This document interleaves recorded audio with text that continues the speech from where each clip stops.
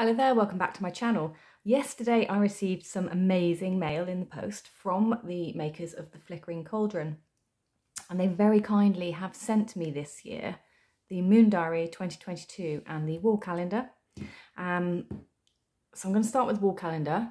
It is beautiful. I didn't get this last year. Um, last year I just purchased these items here as you can see, but I'll um, they're just there for reference. So this is just, you know, your normal 12 month moon calendar or wall calendar, saying moon's ready. So we have beautiful artwork in here. Um, each month has a lovely page. And then just to bring up for you so you can see, because I won't, there's no point me showing you this page all the way through. Down the side, it tells you the star sign that's the predominating one for that month. So for January it's Capricorn. We start with Capricorn, so we go through Capricorn. And then it tells you when it becomes Aquarius. It also has your um, super moons marked on there. You have your full moons and you've got your quarters. We also have, because um, this is for Britain, so we have, or UK, we have uh, bank holidays on here, days of note um, or holidays. And yeah, it's um, a 12 month calendar. So we go through the art. So here we have January, February, which is the snow moon. And they're just really beautiful pictures, um, much like the artwork in their diaries, which is what I fell in love with last year. Um, so this is our worm moon for March. We have April, which is um, full pink moon in April. That's what we're naming it, that one. May, we have our flower moon.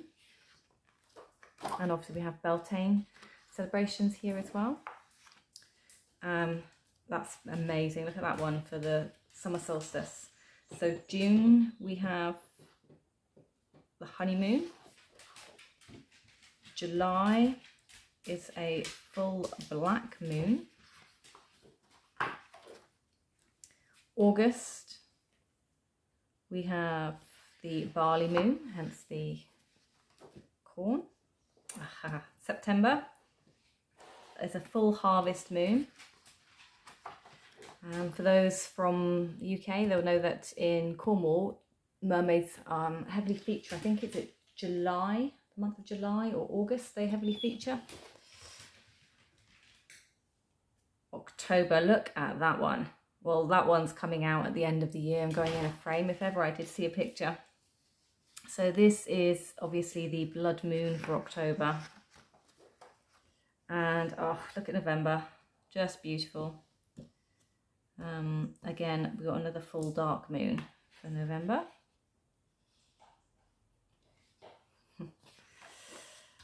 You get lost in the pictures. And then we have December, which is the full cold moon. And here we have the beautiful Christmas tree and stag. For those of you who aren't familiar, they also do Christmas cards, and I bought the pack last year. Um, just beautiful. So here's a hint at the sort of artwork that you might get on their Christmas cards.